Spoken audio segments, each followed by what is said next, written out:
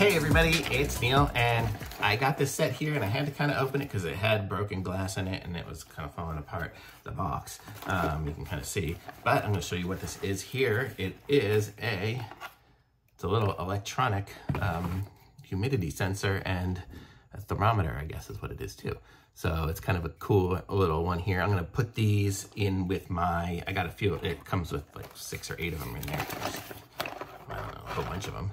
So you can see the bunch of, with the sensor. So it's got the little sensor that goes out here and I was kind of testing it a little bit and looking at it compared to my uh, Airthings and it's actually pretty right. So it says we're at 10% humidity here right now. Um, I'm in Texas and it's pretty dry right now and the air conditioning is going. So it's gonna keep it pretty low.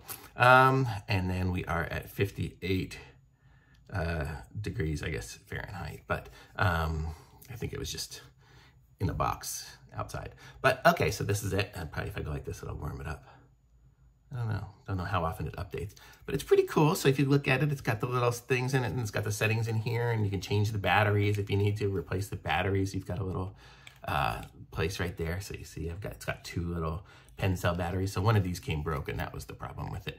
But, um, but the other ones are all working and I really only needed three and it was a big set for um, decent price. So let me close this back up again. Is it closed? There we go. In here. Now it's closed. And it's kind of, it's made for like if you wanted to like build it into something and you can kind of snap the little pieces in on the sides. Um, but I'm, just, I'm going to probably glue the front into my filament, um, my, my, my filament holder for my 3D printer, just because I need to check the humidity on that pretty often. So that was kind of my, my concept with this one here. So that's why I got these and you can see these, there's several of them here. And you can see we're at different percentages right now just because I'm taking them out of the box and playing with them. But I was looking at them earlier. I had them all out. Well, all the ones in the box are going to be about the same. Well, it said 48 a second ago. Now it's 52. Um, let's see. And it's got 72 degrees. So yeah, you can see they're going to all fluctuate. Yeah, but they're all probably going to come out at the same at 48. Let's see if the next one comes out of the box at 48. Well, 52. I guess it's a little bit different. But you can kind of see. Um, it's funny. They're all different now but they were all the same um, when I was looking at it a few minutes ago. This 50, oh, these 52s are about the same.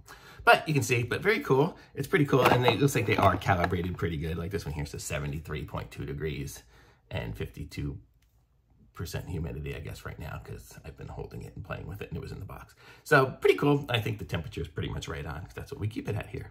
So very good. So thumbs up for me. These are cool. Uh, you should check some of these out for yourself, and I'll be back with uh, some more reviews soon. Thanks for watching. Bye.